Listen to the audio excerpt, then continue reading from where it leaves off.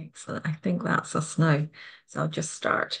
Um, welcome, everyone. Um, delighted to see all of you and lots more people joining. My name is Aisha Holloway. I am the Programme Director for Nursing Now Challenge. I'm based at the University of Edinburgh as Professor of Nursing Studies, and I'm really delighted today that I will be sitting in, like the rest of you, listening to this fantastic uh, webinar that has been put together by Zabe, Sana and colleagues in the EMRO region.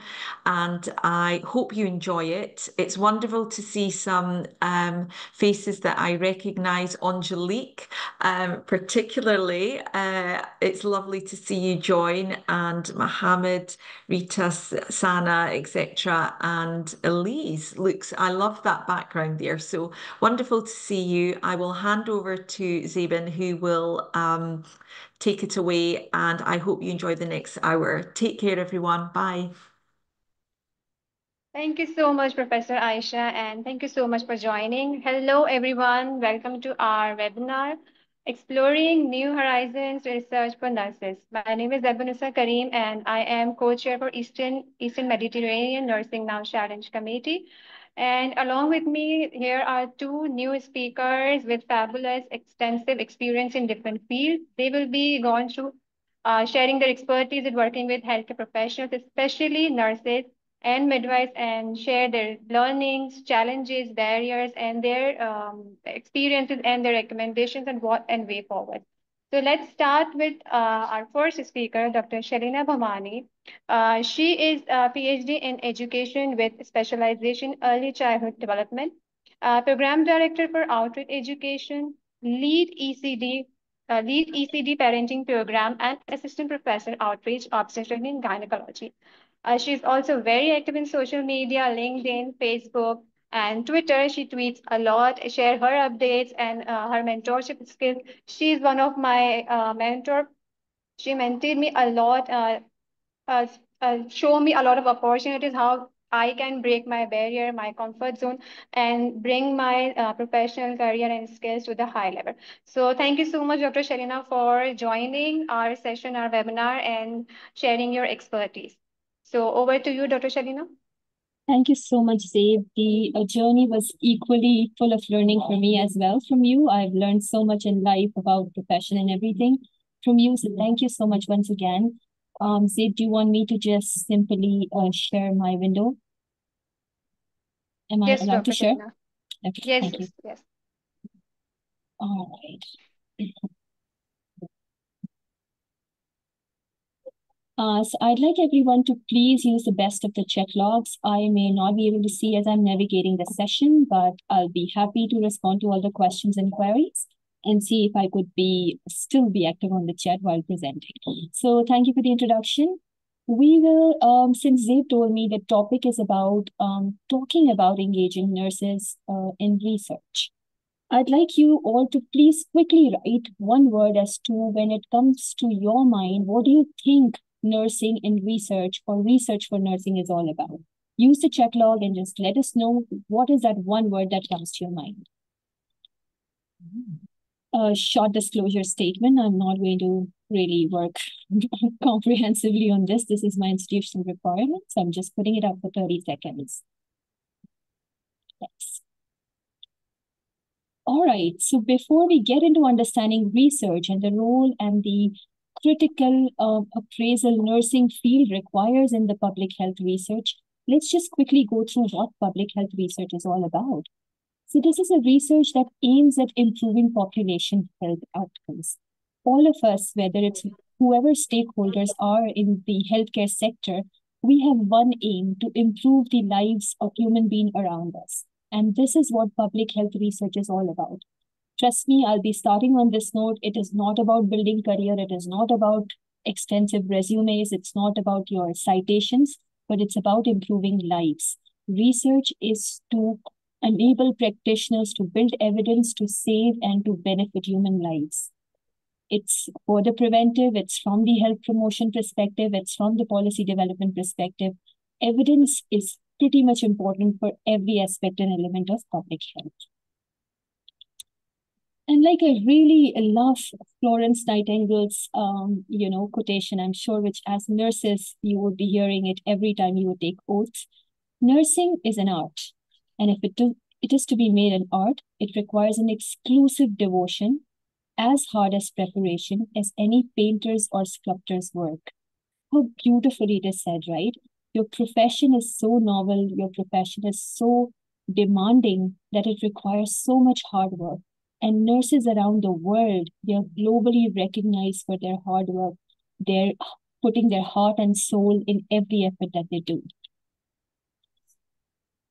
And the role of the nurses in the public health research or research cannot be negated. You guys are frontliner, you guys are community educators, you guys are advocates, you guys are data collectors. I'm using this word data collectors because I've seen a lot of nursing community engaged in research and used as data collectors.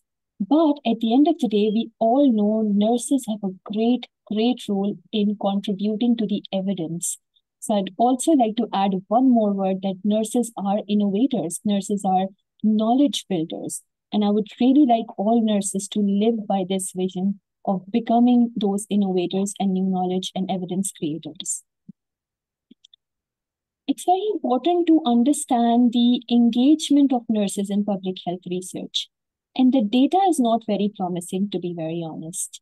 In one of the National Institute of Nursing research talks about that only 10% of nurses worldwide are actively involved in research, contributing to the critical advancement. So imagine just as low as 10%. I'm I'm very certain that most of you are engaged, but it's not showing in the data. Why? Because nurses are often not provided with that authorship in a lot of researches. But as per data, only 10% nurses are engaged in nurses actively. Over 30% of the nurses in developed countries have participated in health related research. And as per international councils of nurses, they also further define that there are many barriers that nurses community have to face when their inclusion in with respect to research as well. Only 14% nurses in US account for healthcare publication related to public health in the last decade. Just look at the numbers, you know. Uh, it does not reflect our true efforts as nursing community in research engagement. And there is a dearth of engagement in lower middle income countries. When it comes to countries like Pakistan, Afghanistan, Africa, you know, there are many nurses who are engaged in research, but they are not given full acknowledgement to do that research. But the role of nursing must not be forgotten because it's one of the ways to acknowledge nurses and their role in healthcare stream. I'd like to play this short video before we go on to some practical tips as to how you can further engage yourself. But I'd like to show this video first. This is why you need to know about the power of nurse led research. Nurses are not just caregivers, they are innovators. Imagine nurses turning everyday challenges into groundbreaking research. They see what truly works and what doesn't by transforming their experiences into research, nurses can shape better healthcare policies, practices, and outcomes. Nurses are the frontline observers, the problem solvers. Engaging them in research means unlocking real world solutions to healthcare's toughest problems. This is how we build a system that's more responsive, compassionate, and effective. Nurses, your insights can lead the way. Let's empower you with the tools, the platform, and the opportunity to revolutionise healthcare through research. When nurses lead, healthcare advances. So make sure uh, when you go after this session, you are those nurses who advance the research in public healthcare stream. This is why. But naturally, the thing comes uh, in mind that if we do have, um, if we do have to scale our careers as researchers, as nurses who are engaged in research, well recognized, well acknowledged. But what are the challenges nursing stream face when it comes to research? The first and foremost is the financial constraint. Institutions do have a lot of resources built in uh, for medical researchers, for uh, professionals who are related to uh, medical sciences. But there's a financial constraints when it comes to nursing research as well. There's a dearth of research grants seed grants to support nurse-led researchers. there's a low involvement in research design. So, you know, I have seen, because I work in the clinical settings as well, I've seen that there are ideas, there are research projects, and nurses are just used as data collectors. They are not involved in research design. They are not given that opportunity to be one of the key stakeholders in designing of the research. So there is a low involvement in that stage as well. There's a lot of demanding workload as well, because the moment we think of nurse, we think of care. You know, nurses are always a synonym of care and patient centric care. You know, there are questions of the patient, there are questions from the family members, always nurses in the filling blanks. And there is a lot of volume provided to nursing, particularly in lower middle income countries. And that is one of the reasons that there is, the workload is so demanding that the nurses are hardly left with mind, soul, and you know the capacity to conduct research. So this is one of the major reasons that there is a lack of nursing engagement in the research as well. And in my personal opinion, as well as Miller and Swart uh, talked about, that there is insufficient formal education and training. You know, you pick up a nursing curriculum and at bachelor's level, at the uh, RN level, at the diploma level, there's a very limited scope, particularly in lower middle income country, to do implementation research, to do clinical research, to do randomized clinical trials, to participate in the core research functionalities as well. So there is also a different curriculum and different in training. So that differences and those gaps continue to build on. And the nurses who take the practice pathway, they are not well prepared. They have insufficient training and capacity to perform the task of research or to conduct research or to plan research.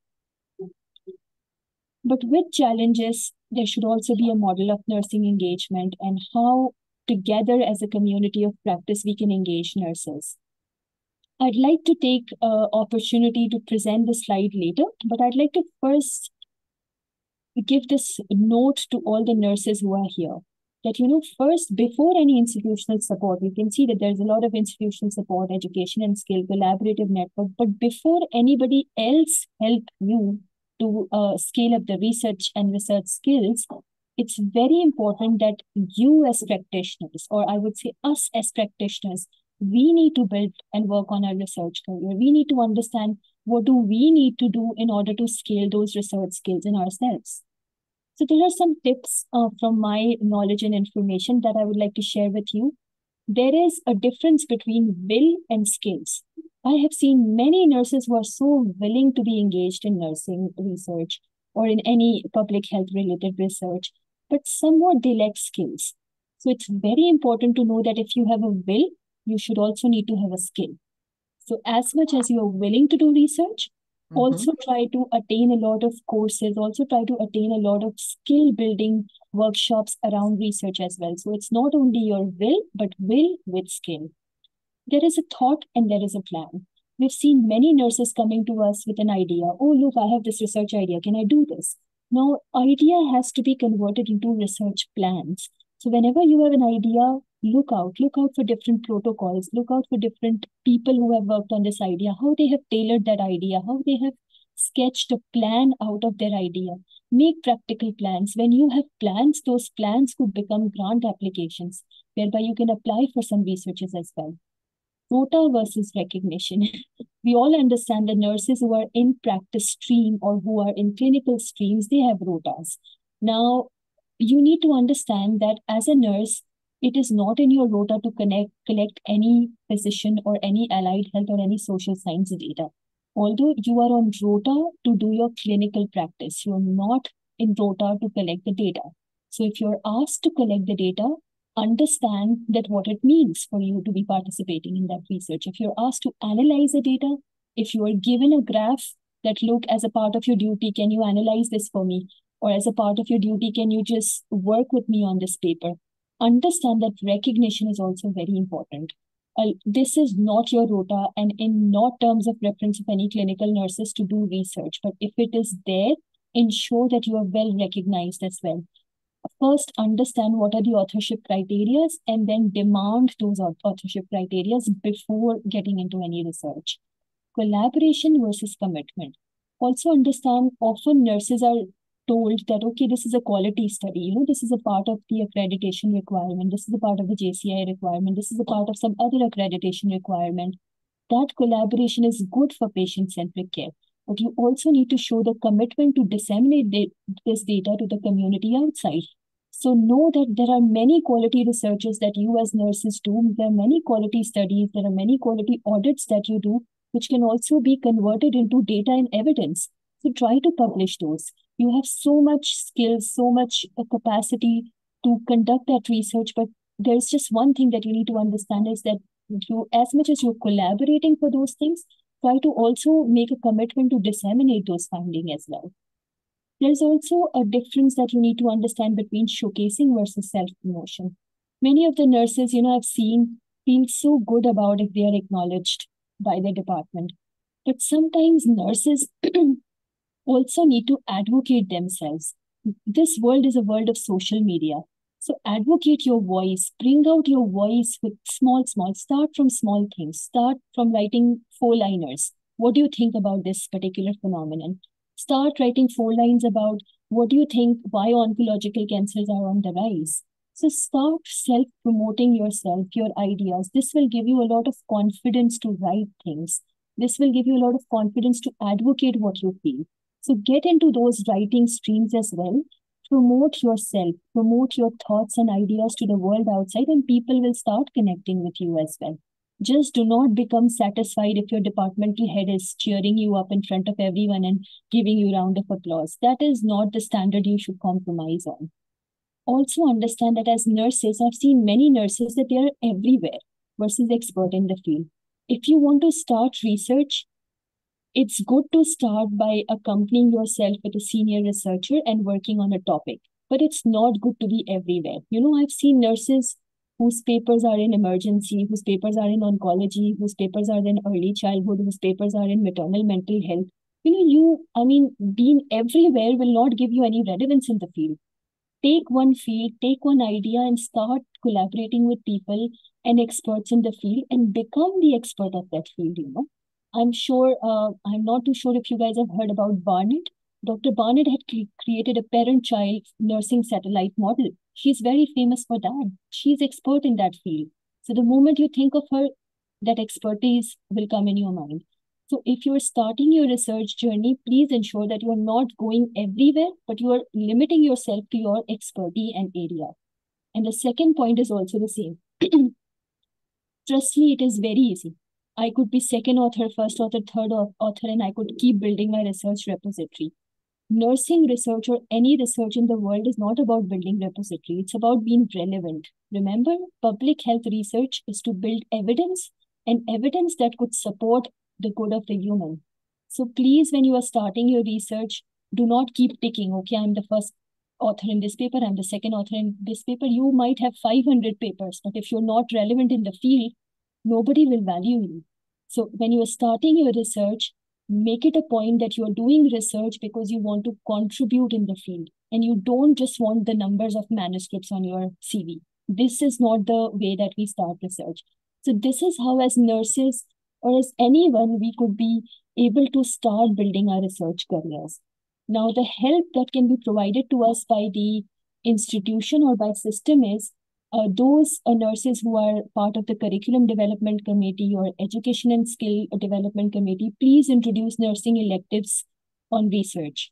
Uh, nurse-led research seed grants should also be provided. There should be workshop, regular seminars on research skills for nurses as well. There should be some access to the resources provided to the nurses. You know, the institution where I work in, uh, nurses are not allowed to fill in ERC until they are on the faculty cadre. So it's also very important that if you have a practice, nursing practice community, they should also be allowed to do some researches on their own. Become part of collaborative networks. Nursing now is such a great platform. Avail the leadership opportunities. Try to become co-investigators in different researches. Start from becoming part of the research and then do your own research. Also remember that uh, if you are able to do uh, some researchers, the ones who are institutional leaders here, I urge them that if you see a good emerging nursing researcher, try to recognize them, try to provide incentives to them so that it motivates them, it becomes their passion to work towards this. There's a lot, there's so many awards for medical faculty, so many awards for uh, educators. We also need so many awards for nurse-led researchers as well, who are particularly in the clinical settings as well.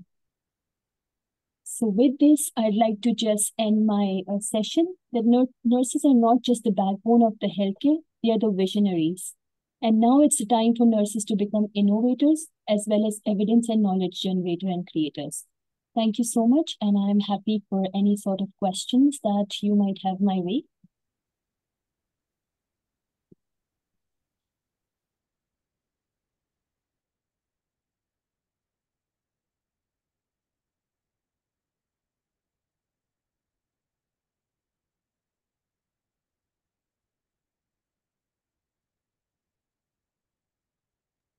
Uh, over to you, Dave.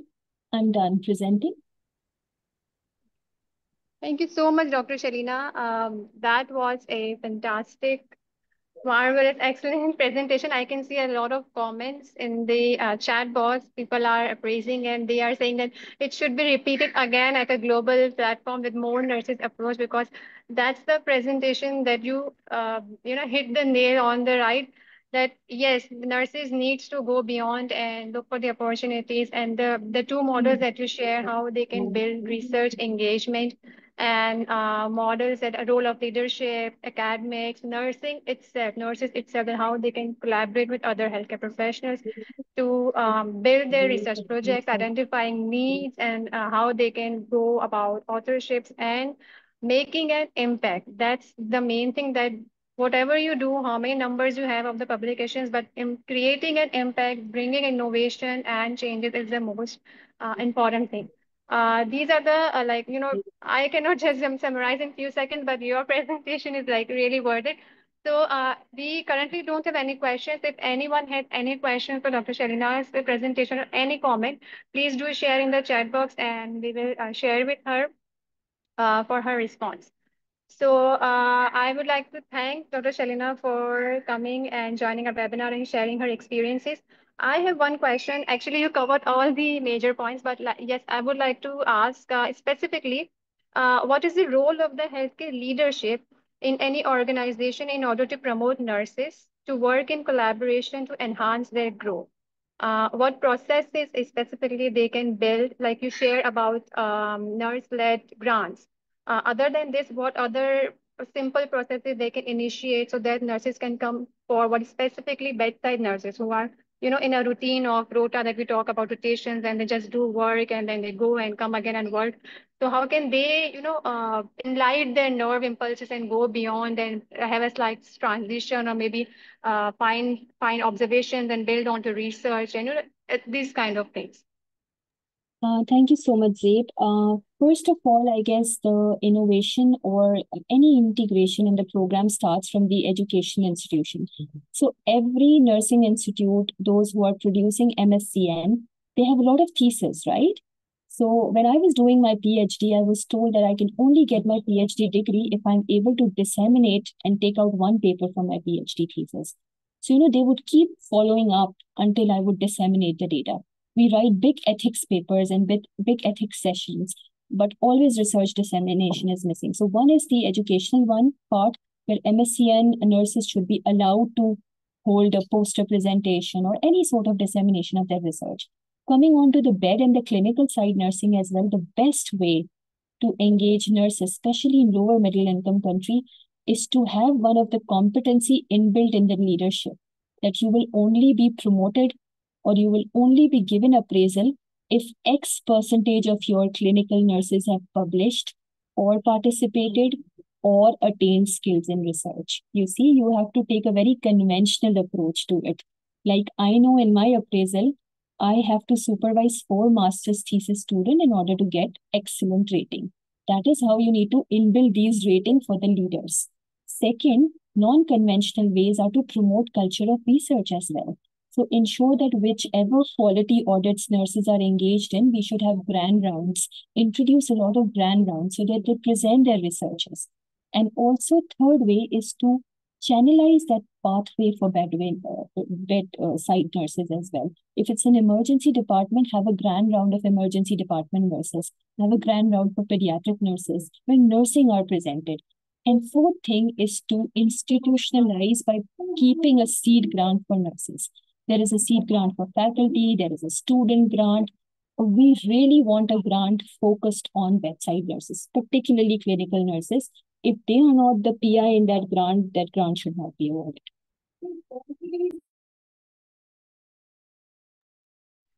Absolutely. Uh, major points were discussed by you. Yes, we need grants and different approaches from the institutions and organizations. We have Clinton uh, hand raised. So uh, Hannah, if we can unmute him and him or her he, or she can ask question. Or Clinton can post in the chat box and I can ask from Dr. Shelina. Hi, Dr. Sherina. Um, thank you so much for your wide informative presentation. I'm Clinton. Um, I'm a PhD student here in Canada at the University of Alberta. I just, I, I'm just inquisitive about a question um, that one of my previous students asked me about research, and she was quite concerned about the issue of uh, evidence-informed and evidence-based research now. Like there is a gradual shift, to the best of my knowledge, that research um, uh, policy rather implementation is shifting from evidence-based policy to evidence-informed, meaning most politicians or most people at the level of um, decision making in healthcare and nursing are gradually incorporating their values or other forms to be able to maybe design policies. And um, this is pretty much concern, a pretty much a concern rather from young people, young nurses about how relevant um, their research work will be in the in the uh, policy um, development process, kind of stuff. So I'm like, what do you what do you have in mind concerning this issue of um, um, nurses getting involved in research, um, and at the end of the day, they still feel like their research work is not being used in the to inform policy and what can you tell us to encourage us continue um, in this journey of research? Thank yes, you. Um, thank you so much. This is a prevalent issue when it comes to lower middle income countries as well. And there is like a dearth of participation of nursing in ministerial think tanks. Uh, so, A, we need to really um, advocate of having um, nurses representation in Ministry of Women, Ministry of Children, Ministry of um, General Public Health. So A would be that systems level inclusion. Second, it's very important, like I mentioned, you can have 200 papers, you can have 15,000 citations, but you need to see that if you're one research paper, how far it's giving advocacy to the public. Is it changing any behavior? You know, we need to go back to Ottawa Charter and see is it impacting any changes in the environment? Is it coming in any of the policy advocacy pointers? So I always teach this to my students that as soon as you have a paper published, you have a data. Do not limit it to manuscripts only. Try to make a video of it. Put it on the Facebook. Try to make a small uh, tweet, tweet out of it. Put it on the world. Try to make uh, an advocacy piece out of it, publish in the newspaper your local newspaper, voice it out. You see, manuscripts are only for academia. How many of the ministries or think tanks would actually be doing lots of scoping and systematic review and informing their policies accordingly, right? Although that's how it should be done, researchers should be made part of the policy decision making as well. But if it's not happening, then at least we can opt for alternative pathways to advocate our research, our, our data. Data speaks for itself. Trust me, nurses are nurses and data are like this because specifically the bedside nurses because they are with the patients every day they are seeing the emerging trends and everything. So data needs to be advocated. Unless we advocate data to a systems level approach it is hard that the research papers will be picked and the researchers and the policies will become evidence informed particularly in the part this part of the world which is a lower middle income country. I, I highly doubt if we voice it out loud, it, it might not be included. And that, that this is one of the limitations. I hope this answers your question. Otherwise, you can ask another question. No, you did. You did. You hit the nail at the head directly. So thank you so very much. Um, um, like, like my my spirit is highly stirred this morning. Um, like your presentation is fantastic. It's absolutely mesmerizing. So thank you, thank you, thank you so much. I hope to join you some other time or invite you to yeah. uh, um maybe one of our student bodies so that you can, if you have the time, you can you can just maybe pop up and then do one such presentations like these that can encourage others to like continue doing the great work that nurses ought to do. So thank you so much, and I really do appreciate. Uh, thank you, uh, Clinton, and thank you, Dr. Shelina. So uh, uh, I, Dr. Shelina has to leave. So if anybody has any questions, they can uh, share with uh, share with Hannah and us and in the chat box and we can uh, share it with Dr. Shelina and she can respond as soon as possible. And yes, of course, we will um, take her again into some another topic or as requested by you. And we will again pull her to come to our webinar and do any workshop of her experts. So thank you so much, Dr. Um, Shelina. Now we have our uh, next speaker, Komal Rahim from Pakistan. So uh, Ms. Komal Rahim is also a nurse by profession. She is also working as a, a research fellow with the uh, Center of Trauma and Excellence and has a, a, years of experience in nursing critical care and uh, with the research and with many publications. So over to you, Komal uh, Rahim, and thank you so much for joining again uh, for us in this webinar. Thank you so much, Komal. Yes, over to you. Thank you so much. Do I have rights to share my screen? Yes, I do. Can you all see my screen? Yeah.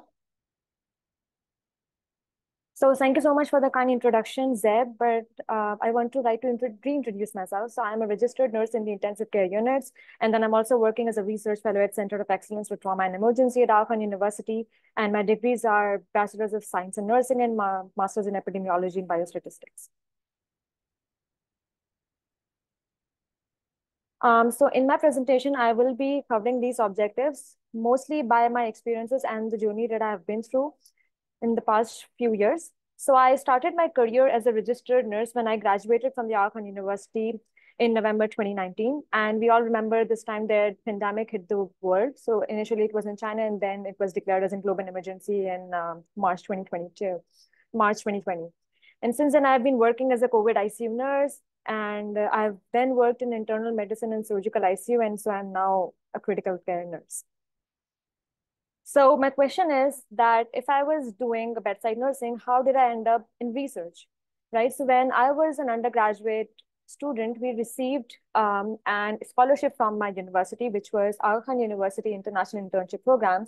Uh, and me and Sana, who has also joined us online, we both were the recipient of this um, scholarship. And so we went to South America um, and I was working in Uni Remington for about six weeks. And there I took a part for research and community work because bedside nursing we all were doing here in Pakistan. So I wanted something different as research is not really readily taught uh, to nursing curricula as well. So this is how I ended up starting on having a niche in research. And through my visit, I got my first publication out there, which was on multiple sclerosis, and this was a review of the clinical base guidelines. Now, if I end, uh, if I ended up in uh, doing research, how did I become a research fellow at Center of Excellence from an Emergency? So we all knew that um, every information that was coming in the COVID was very new and very important for the general population as well as for the clinicians for the better outcome of the patients. And since I was working in the COVID ICU, I had this um, initiative and I wanted to do like write research papers and then I put them up on preprint servers and then I just put up the links these were the three preprint papers which I came up with during my COVID ICU experience. And then I posted them up on Twitter and Facebook. And when people say that social media is powerful, I guarantee you it is.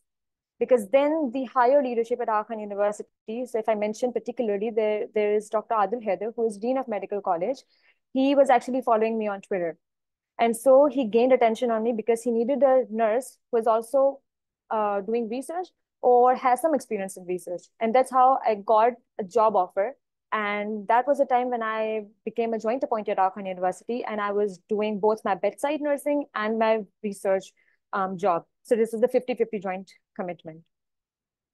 And then I enrolled myself in Masters in Epidemiology and Biostatistics because uh, back then I realized that I am more inquisitive towards data, data analysis, numbers.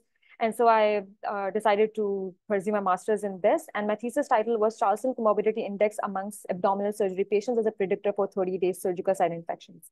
And this was a retrospective cohort study. During my master's, I also received this Fogarty um, fellowships. I am Fogarty Fellow, and the fellowship that, was given to me was Pediatric Infectious Diseases, and Enteric Health and Malnutrition in Pakistan Research Training Program during my master's. And then I also ended up going to University of Bristol in United Kingdom for my research internship. So if you look at the journey, it was all possible because of the initiative and the motivation and willingness that I have within. And since then, uh, my research experiences that I have, my publications are now 37, my first other publications are 14, and more than seven papers are under review. If you talk about my areas, so I'm primarily inclined towards systematic reviews and meta-analysis and quantitative data analysis because I've now pursued my master's in epidemiology and biostatistics. And these are my list of systematic review publications. I've also worked with the World Health Organization on their systematic reviews. Um, so there were two systematic reviews in which I have uh, given my time. So one was on the identifying community-based and population-based interventions for children at risk of wasting. And the second one was use of contraceptive empowerment and agency of adolescent health in young women. Um, and then there was another one on the complementary healing. So there were three, which is one, one of them is published right now. And then I've also wrote some book chapters, one of which has just accepted on 25th of September, and the other one is in pipeline. So with all this, how can nurses transit from bedside to research? Since I have given my experience as to how I ended up doing research, but it's important, like how can you do it? So the first thing is initiatives is very important. So it all starts within. The second thing which is important is the collaboration and you need to build teamwork abilities and the team around you. The third thing is communication. So you have to identify people who are there in the field and then you have to start talking them about. Fourth thing is advancing education because research is a skills, though people may learn it from experience, but I do believe that you need advanced education to excel in the research skills. And fifth thing is that you can attend conferences to connect with the research professionals. Again, the part of networking. If I talk about how did I transition, so I took advantage of the opportunity which was given to me in the undergrad studies and I went to Columbia. The second is choosing what was my interest. So I was inclined towards research. And then I finally realized that no, I am good with my bedside skills, but I but I do crave for my research skills as well. The third thing is that I pursued advanced degree in masters in epidemiology and biostatistics. And the fourth thing was willingness to contribute to science. Now, if you talk about the second thing says, what are the key benefits for nurses, both professionally and at personal level? So professional benefits may include that you can have enhanced knowledge base. You can have deeper understanding of the how evidence-based care is provided to the patients. And the second benefit is that you develop skills. So you can improve your critical thinking as well, as well as your analytical skills. Third thing is career advancement, though this should not be your primary goal or primary benefit, but yes, there is career advancement, it doors opens for your leadership and specialized roles. Impact on patient care, because if you are more inclined towards evidence-based care and evidence-based practices, you can contribute to innovative treatments and practices. And then it can also give you collaborative opportunities. So you can build networks with the interdisciplinary teams. Like whenever I go now in intensive care units, there are consultants who now know me as a researcher and a nurse, and they do come and they do share their thoughts and their ideas, and then we have a discussion on that. There are also some personal benefits for you. So it gives you an intellectual satisfaction because it fosters your curiosity and continuous learning. It increases self-confidence because whenever I walk in an intensive care unit, I have so much confidence that, oh, I'm today here, I'm going to observe something and I'm going to improve something in the patient care. You get a sense of purpose as you're not going to research just for the, uh, you're going to bedside just for the sake of caring for the patient, but you are also there to have an impactful outcome for the patients by doing something for patients apart from just the care. And then it also gives you a sense of personal fulfillment. Now, why is it important to have research knowledge and experience for a bedside nurse? So it is important because again, it, it, helps you having evidence-based practices. It can help improve patient outcomes. It fosters and improve your critical thinking skills because some things are in front of our eyes, but since we don't have a critical thinking lens, we don't see things that way. So if we have that critical thinking lens, we could definitely improve patient outcomes. Then staying current because the guidelines are coming up daily, the things are evolutionizing, they're changing daily. And so if you're not into research and you're not actually searching uh, what is new, you're not staying current. And so if there's something out there in the literature that could be beneficial for the patient, you're missing that. It in, informed advocacy because it empowers nurses to advocate for patients on solid evidences. It helps you for professional development, and it is also helping us to contribute to the healthcare. Now, the other question is that how you could incorporate research skills into your bedside and vice versa. So incorporating research skills into the bedside is that you have to apply your evidence-based guidelines, what you are seeing and observing in your research data set, the evidence that you have generated, you have to apply that onto your bedside nursing or, or else it is not really helpful. The second is that even though there are not many research projects going on, but there are some quality improvement projects that are there are there for the bedside nurses to improve the patient care. So maybe you should participate in quality improvement projects as well. And through there, you can then have a little bit sense of the research and then you can go ahead with a full-fledged research. And it is important to document and share your findings. As I mentioned, that whatever I saw on COVID patients, I just wrote it and I put it on preprint servers because peer-reviewed publications take a lot of time. And so I got um, um, this offer by the Dean of Medical College that he wanted a nurse and then he brought me into his team. And then it is very important to engage in clinical trials as well, where you involve patients in research studies to enhance their care too. And if you flip the coin, incorporating the bedside experience into research, so you have to identify clinical questions as well.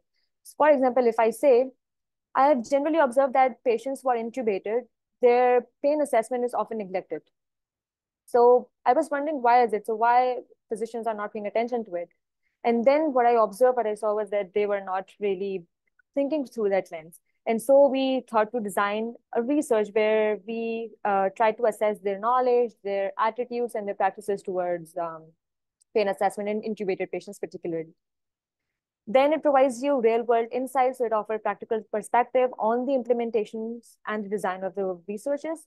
And then it also helps you to collaborate on the research teams because if you go in the intensive care unit or perhaps in any ward, there are multiple doctors who are doing the researches that's part of the residency or perhaps any other thing. And so if you have a collaboration with them, so you can contribute to clinical expertise together. Not only this is important, but it is also important that you also mentor the future researchers. So perhaps if I'm a nurse and I'm also inclined in research and I'm doing a job in research, if there is another nurse who is coming to me and asking for a mentorship, it is my responsibility to ensure that I'm a good mentor to her. So there's a chain. So we can follow a chain for nurses to engage in research. So I always strive to improve the clinical outcomes. So perhaps I am more inclined to work on health disparities. So perhaps I have put the um, picture of an insurance because I think that not only the socio-demographic um, factors of the patients are important, but also the health disparities angle that is often um, compromised, particularly in LMICs. And um, then I try to make use of administrative data because I think ERCs are complex for nurses to take, as uh, Dr. Shelina mentioned in her And so the data that is already captured and um, available in the hospitals, I try to make the use of those. And then this is another example where I saw that patients who are uh, critically ill, those are not uh, mobilized, so they're not ambulated. And so I try to understand again that what are the barriers, what is their knowledge about the early mobilization and early ambulation of the patients, because it is proven in literature that if you are uh, early ambulating the patients, there is chances that patient would have improved recovery and improved outcomes. So these are just the examples of how my observations have led me to do researches in different areas. So how to get involved in research? Number one is to pursue advanced education. Second is to seek research opportunities. Third is to attend uh, conferences and workshops, collaborate with the researchers, and do try to take research methodology courses to, so that you have a more in-depth um, insight as to how researches are have been done. I want to take this opportunity to thank my amazing mentor, Dr. Adil Haider, who is the Dean of Medical College, and then Dr. Zohra Lassi, who is a professor at University of Adelaide, Australia. I want to end my presentation with this note that two roads diverged in a wood and I took the one less traveled by and that has made all the difference. Thank you so much. Thank you, Komal. Thank you so much for joining and sharing your journey, your transition, your expertise. It was um, learning for learning for, for everyone that how you come from bedside to research fellow and having a global experience with different universities in different countries and uh, personal and professional benefits that as you have mentioned what can be a personal benefit to anyone or professional benefit to anyone professional growth and in clinical outcomes strive to clinical outcomes and the main important thing that we are uh, talking about is impact, the creation of the impact, the change that one needs to bring into their profession or uh, into the work that they are doing.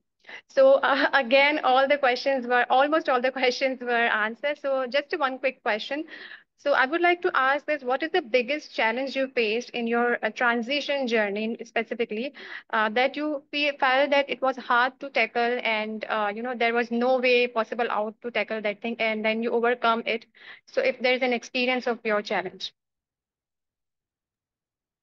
Um, yeah, so well, as I mentioned that I was a joint appointee. So I was working both as a bedside nurse and then uh, in the research as well. So the biggest challenge was the time management because balancing patient care with research responsibilities can be very overwhelming. And but you have to make sure that you are doing your jobs correctly, both at the clinical side and at the research side. So that was the biggest challenge for me. But as I mentioned, that Dr. Adil Haider, he was very kind enough that he uh, helped me to manage my time and he actually allowed me to you know don't doing not doing um, night shifts because as you it mentioned by uh, dr shelina bhamani that nurses do have to follow rotas and rotations. So he managed that for me. So i was all good because if you are not having a good sleep if you're doing night shifts and then you are coming up the next morning in the office for your research then you're not able to do be productive at both sides right? So time management was one thing. Another thing again i would say initiating a research project myself. So as Dr. Shelina mentioned that nurses are not allowed to obtain an ERC approval. So this is actually true because whenever I have to come up with a, uh, whenever I have to come up with a research question and then I have to initiate a study, I have to rely on any faculty member or any consultant to actually help me in submitting and becoming the PI of my projects and then I have to take over the project. So ethical considerations was the second thing. And then third thing again was maintaining the clinical skills because I was in my uh, early nursing careers, right? And so it was very important for me. It was sometimes I felt pressurized as well that I have to um, be cognizant of my um, research skills, but side by side, I also have to excel in my clinical skills as well. Research is a skill in itself, and clinical and bedside nursing is a skill in itself. So I think while I was focusing on research more, I realized that my nursing skills are like going away from my hand so then maintaining clinical skills, I think that these were the three challenges that are. So um, thank you so much. Yes, working um, bedside and then working in the research is will be a quite challenging and managing shiftings and then workload of the patient, as Dr. Shelina mentioned, that uh, with the global crisis and the shortage of the nurses, it can it is a quite challenging to manage both the things but yes one if one has to strive something one has to grow into something then one has to uh, you know uh, tackle all the challenges. And thank you so much komal for coming for accepting our invitation sharing your journey your transition. The whole purpose of this webinar is to motivate our nurses early career nurses mid career nurses around the globally nurses and midwives to think out of the box, doing the routine shifts and rotations, clinical expertise are fine, but having a different color in their profession, transition from clinical to research is how what impact can they make and how they can grow their profession. So once again, thank you so much, Komal. Uh, moving forward, uh, we have last couple of uh, remarks or comments from my side that I would like to share my um, journey of transition as well that uh, I would I have I was a nurse, a bedside nurse, then a managerial nurse in a post anesthesia care unit for quite uh, 10 plus years. And then I got a new opportunity and joined a different, entirely a different um, office.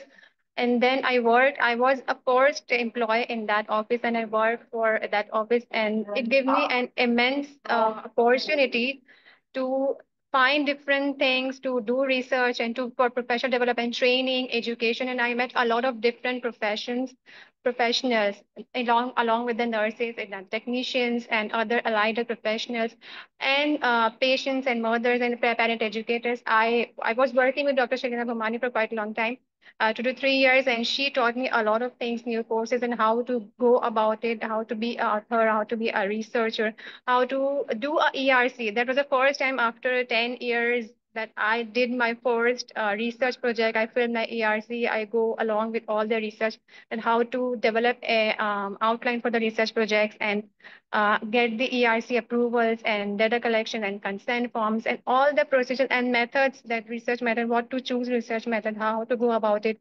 analysis, and then publication authorship and at that time i came to know that that there are the levels of the authorship. There first level first author second author last author and their impact and impact factor of the journal and what that can make in our resume lifted our resume. So there's a lot of learning from Dr. Shelina and the past couple of years that I have. So these transition open my eyes that it's more than what we are doing, what I am doing for the quite long time, for the 10 years, it's more. And I need to be go out of my circle and meet with the people. I remember Dr. Uh, Professor Aisha in our last webinars when we were introducing our EMRO, region to the uh, EMRO webinar region, introdu introductory region. She said that go beyond and be, uh, uh, do networking and socializing and meet with the people so that you can, you know, grow yourself personally and professionally and you know the opportunities out there one of the things that I uh, I kept saying, and I I still want to like you know um, uh, reinforce, and I don't know I want to say that. Just like uh, physician or the doctors have their uh, compulsory or mandatory uh, research submissions, research projects that they do in their residency, I think there should be a some uh, something for us as well when we cross our bachelor's and we go into the uh, bedside nursing. So there should be something from the academia that one research project or a quality project is a must to submit to either national uh, national body of the uh, nursing or anywhere. So that nurses have a routine of working in the research and they have they have the understanding and they can feel that that they are doing something, they are contributing to something. So this is all from my side. Um, if we have, let's see if we have any comments or hand raise in the chat box so we can look after it because this is the last few minutes and we are going for Q&A. And then I will request Professor uh, Aisha if uh, she can have a few last comments, closing comments for all of us. Wow. Well, I just um I, I'm I'm almost speechless because I was listening to this and I was writing some notes and um, I laughed about I was been thinking about what Nursing Challenge gives to me and I've written it's my family, it's inspiring, it makes my heart sing, it's got vision, it's got impact and I'm actually so encouraged. This is amazing what we've heard. And I shouldn't be amazed because I know that nurses are capable of this. And I think for me, the biggest thing is, and I know many people on the call here, and I think just this small group here are are just amazing and inspirational. And we need to get that out there. So we're talking about it amongst ourselves, and that's wonderful. And that's what we need to do because nursing itself needs to know this about its, itself. So, and then the other bit of the job is letting everyone else outside there know what we can do. So there are two things, um, inside and outside. And this narrative of what nursing is, contemporary nursing, to challenge and respond to the biggest issues that we have in the world, nurses are absolutely fundamental at every level and the evidence that we can develop our understanding of the challenges, the problems from um, our first speaker, how we see the challenge and how we see the problem is very different to other professionals. And we can see the whole person and the whole community and the whole of society, not just a part of someone's body or a problem in a, in a community. We see the whole thing and our skills and our knowledge and our intellect. We are nurse scientists and we must never forget that.